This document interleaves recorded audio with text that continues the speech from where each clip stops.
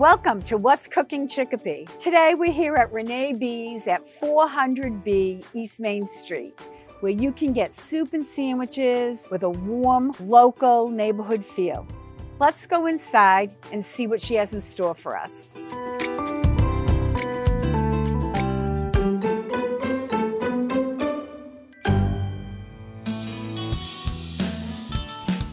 I'm here with Renee, the owner of Renee B's Soup, Sandwich, and Ice Cream Shop.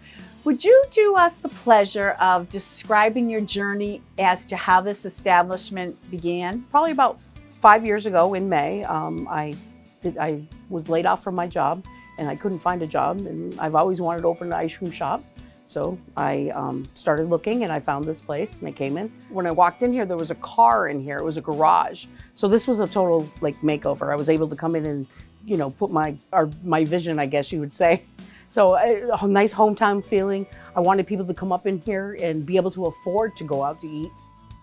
What would you say is your biggest pleasure with regard to the business? I love the people. The people that come in, I get all walks of life in here. Uh, young, old, and they come in and uh, I'm making a lot of friends this way, uh, lifelong friends, and um, this is why I do it, you know, um, and they keep coming back.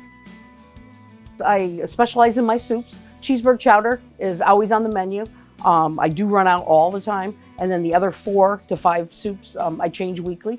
I post it on Facebook, so if you like my page on Facebook, um, you get an update every Monday of what's to come for the week. I do basic deli sandwiches, so I make the chick rotisserie chicken salad. It's a big hit. The egg salad, I make tuna fish salad. I have flatbread, so um, I have Southwest turkey flatbreads. I have buffalo chicken. And then I also do um, grilled cheese. I do everything from a, a standard American cheese, cheddar cheese, to uh, a pickleback, where it's pickles, bacons, and cheddar cheese in it sounds delicious. I also noticed on my way in here a, a new smoker. Yes. So tell us more. That we are just starting actually tomorrow will be the first time it's been offered. Um, I just bought the smoker and I was approved.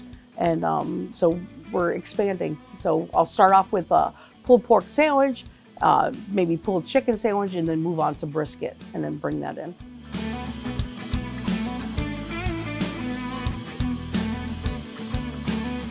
So, how was it that you decided to um, have this wonderful home feeling in Chicopee?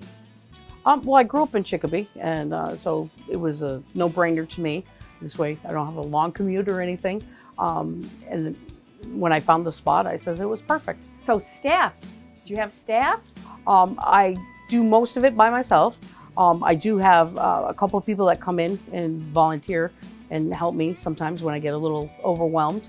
Um, and uh, but most of the time it's me. And it, especially if you have you've never done this before, it's it, it does become overwhelming, you know. And then but then you just take a deep breath and move to the next step to to get to the point where you can open. I had to get to the point where I encouraged my customers to call in on the phone. So this way, when they came here, the order was picked up. Sometimes I have customers I, I encourage, especially like uh, construction workers, they get exactly 20 minutes to a half an hour to eat lunch.